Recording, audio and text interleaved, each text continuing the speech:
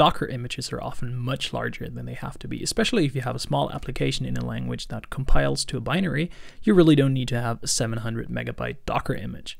And it's incredibly easy to reduce the size drastically from about 700 megabytes to less than 10 megabytes using a multi-stage Docker file, yet not too many people seem to know about it. So I want to show you exactly what you have to do.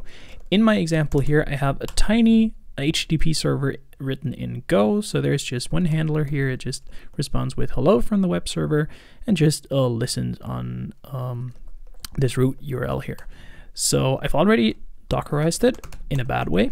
So I have a Docker file, like you've seen many out there. It's from Golang in this uh, way 1.8, just happened to be one that I had the base images cached here, and um, setting a work directory, copying this main.go file in there, doing a build, and then in my command section running the web server. So if I do a docker build, tag it with web server,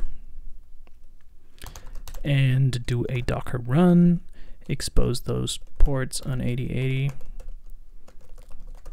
web server, and just switch to my browser, you can see I get this response. However, if I do a docker images, that is if I can type images, docker images and grab for this one, the web server, you can see that this beautiful web server is 705 megabytes, and that is way too big for just one API handler.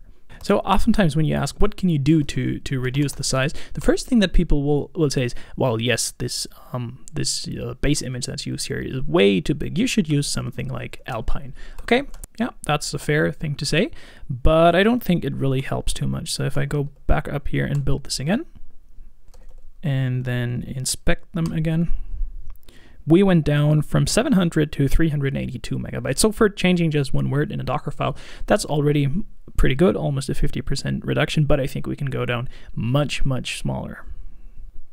So what is the idea behind a multi-stage Docker file? In a compiled language like this one, we need quite some stuff in our build container. If we install dependencies with uh, go dep, which we aren't really doing here, um, but we could be doing. We need a Git client because we need to be able to do a Git clone. Git clone internally needs, needs SSH. You need to have some trusted root certificates somewhere. So there's there's really quite some some stuff that you need to build your app. But in the end, you end up with what is a tiny binary. So couldn't we just use that tiny binary and remove the rest from our container? And by remove, I don't mean manually delete it, but just start with a smaller container. So really the only thing we have to do is tag this container. In this case, I'll tag it as builder. You don't have to do the tagging, but it makes it easier to read. So I think it's a good thing to do. And then you can start a new container. And this one, I'll just start from a standard Alpine image that um, should be pretty small. Of course, in real life, you would want better versioning here. But for me, that's that's fine right now. Then let's define a work dir just slash app maybe, and let's copy something. And where do we want to copy from? From our previous container. So this from statement here actually starts a new container from, not from scratch, but sort of from this base image here.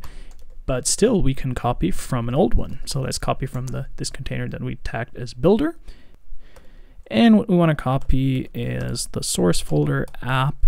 And in there, yeah, let's just copy the entire folder and let's copy it to app.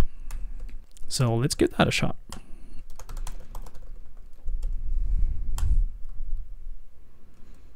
Okay, so first maybe let's verify whether it still works.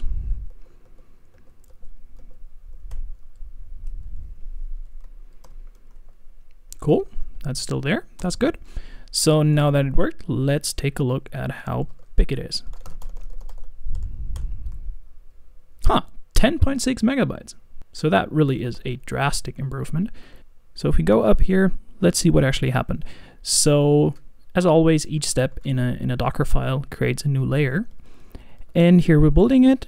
And then here, instead of continuing in this container, we're basically throwing the old container away, starting a new container, and having a very simple container that just has a very small Alpine image um, as a work directory defined and really just copies in one file. Actually, in, in case here, we're copying the entire folder, so we're also copying the main.go file. That's actually more than we need, but yeah, don't really need to over-optimize this.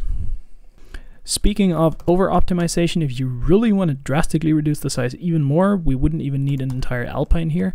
Uh, you could go from scratch but then you'd have to uh, change the way you compile this Go binary because this one is now compiled in an Alpine container. Uh, so it'll only work in an Alpine container. You'd have to, to build slightly differently. And also you lose a lot of debugging functionality by not having a full operating system here. Because um, Alpine, you still have an SH shell, so you can still have more debugging abilities. And of course, you can install packages because Alpine has a package manager. So I really prefer the way to go with Alpine here. Uh, just to show it, let's put from scratch in here. I won't be able to run it, but I'll still be able to build it. So we can just verify how small it would be in this case. And it would be 6.6 uh, megabytes. So you could save another 30%, but really I don't see that much point in optimizing any further here. Slightly different topic today, but I've come across some um, cool Docker tips that I wanted to share, and I thought let's start with something that's uh, super easy, but not too many people know about it. So if you're interested in more Docker stuff, which helps you with Kubernetes as well, of course, make sure you subscribe right now so you don't miss them. And see you next time. Thanks for watching.